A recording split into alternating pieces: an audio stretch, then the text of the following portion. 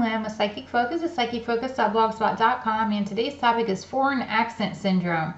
So I had never really heard of it called this before. I was aware that this phenomenon did happen, so it was kind of interesting to realize they've actually put a label to it. The question is, hello Lynn, what is behind foreign accent syndrome?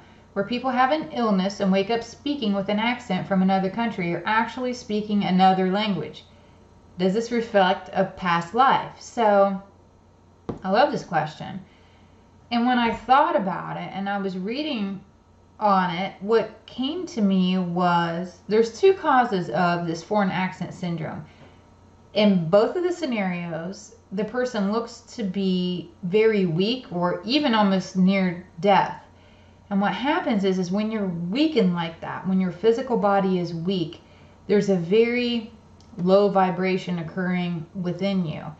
And it allows you to become very close to the other side. They always talk about this veil between being living and then crossing over into spirit. And I get that that veil is very thin and your vibration is very low. So when your vibration is low, I get that residual elements from a past life, especially if there's trauma, can enter into your current physical 3D body.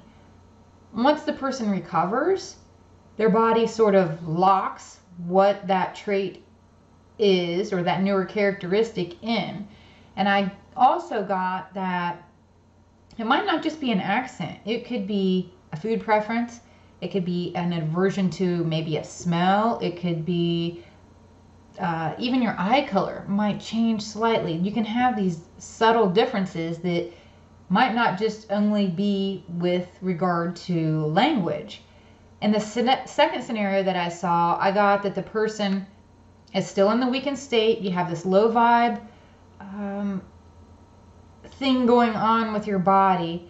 And what can happen is their guide, or maybe there's a spiritual healer in spirit that comes in to offer healing, and those energies mesh and they kind of work in this harmony in order to allow that person to heal. And when they become stronger and they become healthier, again, it kind of does this lock effect where that physical body gets locked and the traits that have entered into it are stuck, for a lack of a better way to describe it. So this might involve maybe you have a memory that's not familiar to you, your tastes change, physical characteristics evolve or morph into something else. So there's two different ways that I see that this actually happens. I get it's a pretty interesting thing to witness, but for the person experiencing it, it can be very, very confusing. The cool part about it is it can be a huge clue into discovering who they were prior to who they are now. And it's most often either that or a link to their spiritual connections out there. Very interesting, interesting topic. So thank you for whoever put that out there. And again, I'm Lynn with Psychic Focus at psychicfocus.blogspot.com. Take care. Bye.